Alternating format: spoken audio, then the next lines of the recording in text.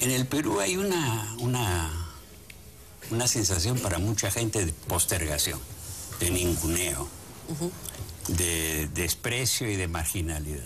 Pero eso es un tema psicológico, es como el tema con Chile, digamos, de que tenemos la sensación de que nos tenemos que cobrar la revancha. No, es que hay una, hay toda una cultura que se ha ido propagando, que unos es que la gente de la sierra está postergada, que nunca se ha atendido con justicia a esa gente, que no se le ha dado respeto, que se los maltrata.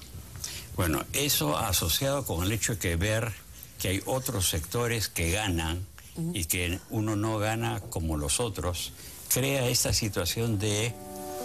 Eh, conflictividad. Conflictividad.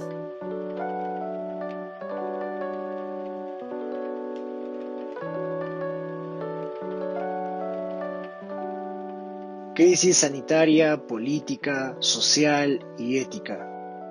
¿O siempre es ética? Este video no será la solución a un problema que viene desde hace mucho, pero intenta comprender la dimensión de este mal por medio de la historia. Ya lo decía Julio Kotler en libros magistrales como Clases, Estado y Nación en el Perú, donde busca describir e interpretar el camino del Estado y la imposibilidad de articular a los sectores sociales del país en relaciones más horizontales y democráticas, no solo en Perú, sino en Latinoamérica, y ya verán por qué. Pero primero un poco de contexto.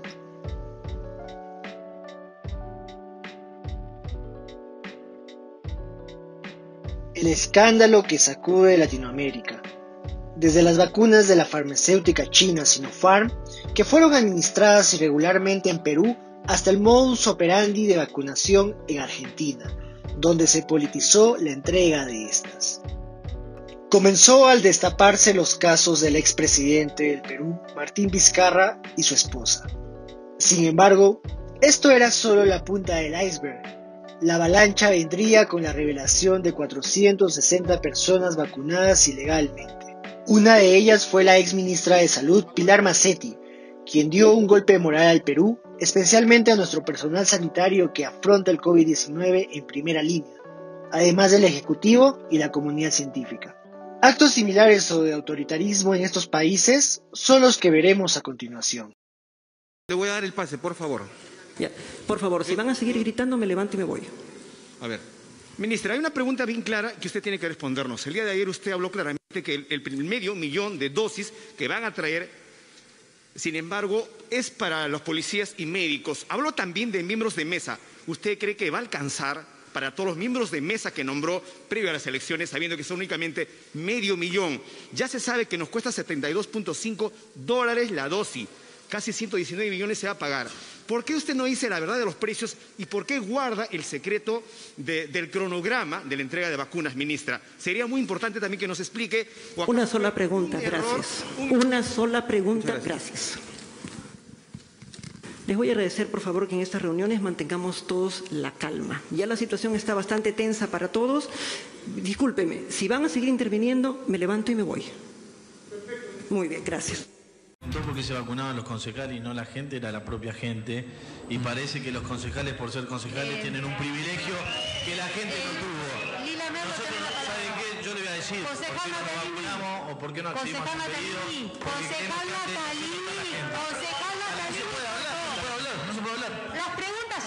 las respuestas ya fueron dadas. Le doy la palabra a la concejal Lila Memo y se termina el cuestionario, por decisión de la presidencia. Es autoritarismo. Totalmente. Es autoritarismo. Totalmente respondió. El debate no lo puede terminar usted. La pregunta no la puede Lila terminar Merlo usted. tiene la palabra. La pregunta no la puede terminar Natalini usted. tiene la palabra Lila No la puede terminar usted. Así se maneja. Mírese al espejo, concejal. Concejal Natalini, por favor, orden. Tiene la palabra la concejal Lila. Merlo. Sí. Una clara Y así estamos, por eso estamos acá, porque nos manejamos así.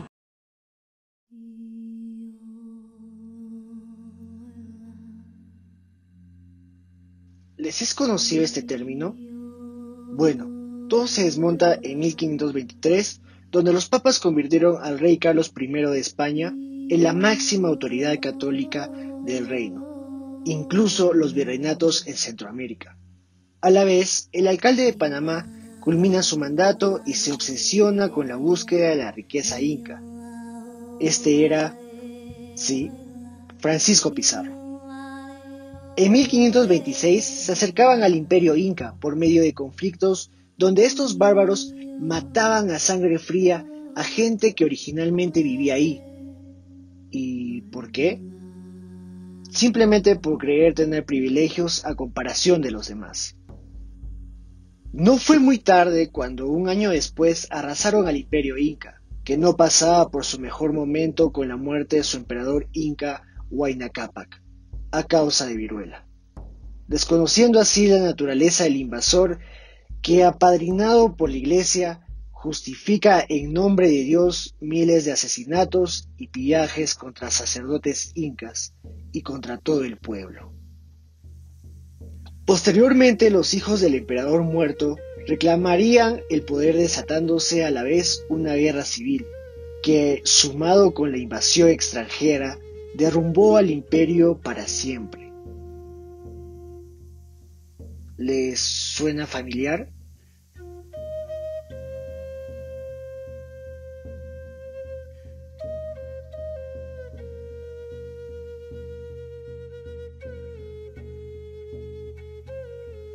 Kotler identifica una continuidad que se ha impregnado en el funcionamiento tanto de las instituciones oficiales como de las superficialidades políticas en la historia peruana, como las prácticas patrimoniales, la propensión autoritaria y la herencia colonial.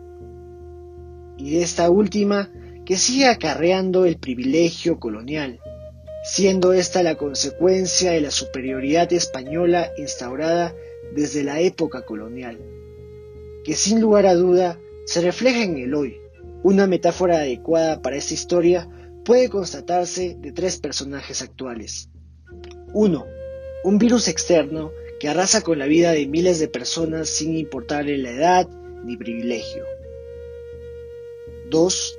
Autoridades privilegiadas que en su lucha por el poder no le importa quitar prioridades a servidores del país como médicos y o enfermeros. 3 un pueblo dividido por estas autoridades que al ser la base de este triángulo padece y sufre formar parte de este sistema clasista, llevándonos a que en este tiempo de pandemia vivir sea un lujo.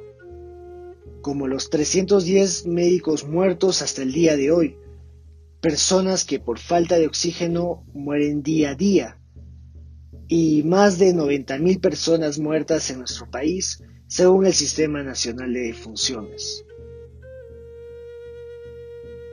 200 años de vida republicana y la historia se repite. Pero, ¿qué más hay?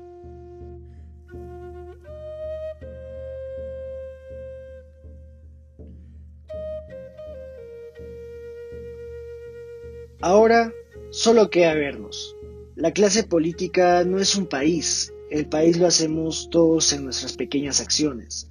Existe aún personas que ya cambiaron el sistema de esta manera, como profesores, médicos, personal de servicio, padres, madres, hijos, hijas, que con empatía y sin sesgos convirtieron esos privilegios que pudre una sociedad en un espíritu de servicio descomunal que inspira a la unidad del país.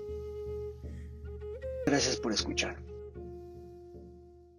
Em, César, un poco para ir, entrando al tramo final de la, conversación, teníamos algunas preguntas sueltas. Una, em, una es esta, ¿con, cuál de las, de las clásicas definiciones sobre el Perú se queda usted hoy, ¿no? Hoy en medio de esta crisis que no es solo sanitaria, sino que es eh, estructural, moral, ¿no? La de, la de Macera, la de Luis Alberto Sánchez, la de González Prada, la de Velarde. ¿Cuál definición del Perú? O si tiene una distinta o una que sintetice todas, ¿cuál, cuál le parece que hoy es más oportuna? O la de Basadre. Sí, la de Basadre es la más socorrida y la más citada, ¿no? Pero yo creo que por por repetida empieza a perder eh, mm. sustancia y, contenido. Los dos grandes problemas del Perú son el estado empírico y el abismo social. Ya no alcanza ya. No, el Estado empírico, no, el Estado desaparecido, el Estado que no regula nada, el Estado que la derecha condenó a la esquina del castigo, al ático, al sótano. ¿Qué Estado? Entonces, este, y, el abismo social, eh, en fin, este, efectivamente eh, ha permanecido, pero se ha acrecentado. Y, ya no es, digamos, eh, la posibilidad de una suerte de insurrección rural, ¿no? de rebeldía marginal. No, el, abismo social pone en peligro la convivencia misma, la, existencia misma del Perú como, como nación. Desde mm. luego que sí.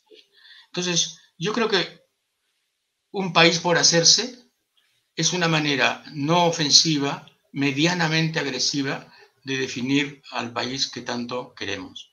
Un país por hacerse. Es duro, pero yo creo que es justo. Mm. Somos un país por hacerse. Yo tengo a veces la impresión de que no somos un país, no llegamos a ser un país. Un país como se entiende, ¿no? Con instituciones serias, sólidas, que más allá de los nombres y de las membresías y de los episodios gubernamentales, están ahí, de, modo casi eh, pétreo, sosteniendo la arquitectura de la República. No, no, no tenemos eso. Somos el, el placebo de un país. Sí, somos, somos, somos un país placebo. Puede ser, puede ser, pero yo, yo lo dejaría en un país por hacerse. Un país por hacerse. Por lo menos da la esperanza de que sí es posible. Mm. Yo, yo, yo he conversado con gente que me dice que eso no es posible. O sea, están, están digamos, a la derecha de mi pesimismo. Eh, ya con eso yo no, yo no, yo no quiero entrar no, no, no, no, no quiero impregnarme de esa visión apocalíptica, ¿no? Pero lo que sí creo es que tenemos la tarea pendiente de, construir un, país. No, no de aprovecharlo, no de saquearlo, no, no, no de subirnos a él, sino de hacerlo. Hmm. Y de hacerlo. Y un país, no, un país serio no es como el Perú. En un país serio no puede venir un presidente y barrer con toda la institucionalidad y corromper a todas las Fuerzas Armadas y destrozar todo lo que puede ser sano y digno como hizo Fujimori. Y en un país serio no se reelige a un presidente así, por segunda y por tercera vez. Y en un país serio la hija de ese presidente no tendría opción alguna. Y aquí ha llegado a casi ser presidenta dos veces. Ese no es un país serio es un país, bueno, Jorge Bruce diría que, es un país tanático. Hmm. Yo, yo, yo, yo comparto esa opinión, probablemente.